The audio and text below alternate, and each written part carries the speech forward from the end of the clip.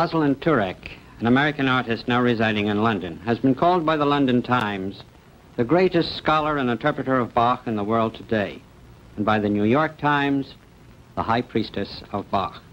Ms. Tureck has just completed a 13-program all-Bach cycle for Granada Television in England and has come to America to fulfill a three-month cross-country engagement. She has just played for us the Gigue in B-flat major from Partita number one.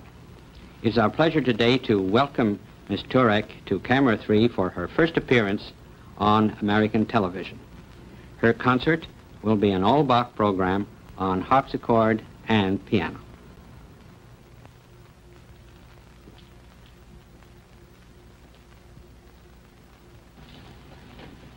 Bach's music is universal and timeless.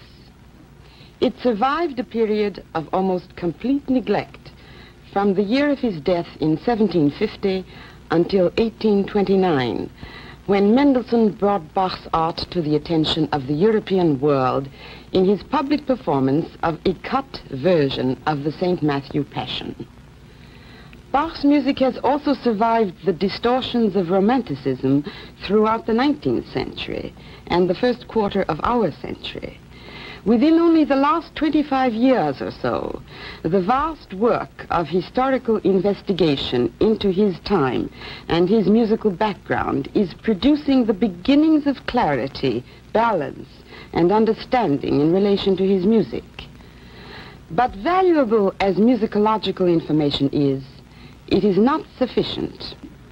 The performing artist must incorporate scholarship into the art of playing Bach and the listening public must be given the freedom to react spontaneously to his great music without being held down to changing and periodic academic theories. Thus, today, I play for you a few of Bach's works on the harpsichord and the piano. Bach's music cannot be restricted to any single instrument of his time, or of any other time, because he did not himself confine his composing to a single instrument. And also because the depth and breadth of his music covers a range which goes beyond a confined historical period and any one instrument. Now I shall play the Prelude and Fugue in C-sharp major from the famous collection of 48 preludes and fugues known as the Well-Tempered Clavier. Afterwards, I shall play several of his works on the piano. But first, I play the C-sharp major prelude and fugue on the harpsichord.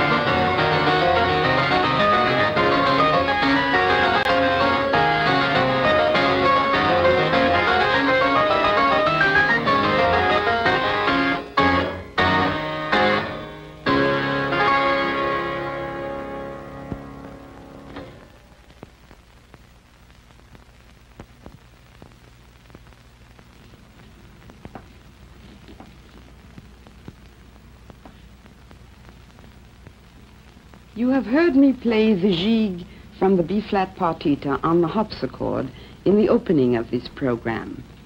Now I shall play it on the piano, on which it will give quite a different effect from the harpsichord. And this effect is much closer to the clavichord, on which this work was more often performed in Bach's own time than the harpsichord. Then I shall play the great and famous Italian concerto a work which is written for a solo instrument, but its form is based on the concerto idea of interplay between an orchestra and a solo instrument. This is so of the first movement in particular. The second movement is in Bach's most lyrical and improvisational moods. It is divided into two parts. The first part meditative, the second part more richly ornamented and rhapsodic, striking a mood of passionate urgency, which finally resolves again into contemplation. The last movement is in Bach's most instrumental, brilliant style. Formally and instrumentally, this solo concerto as a whole is a brilliant tour de force.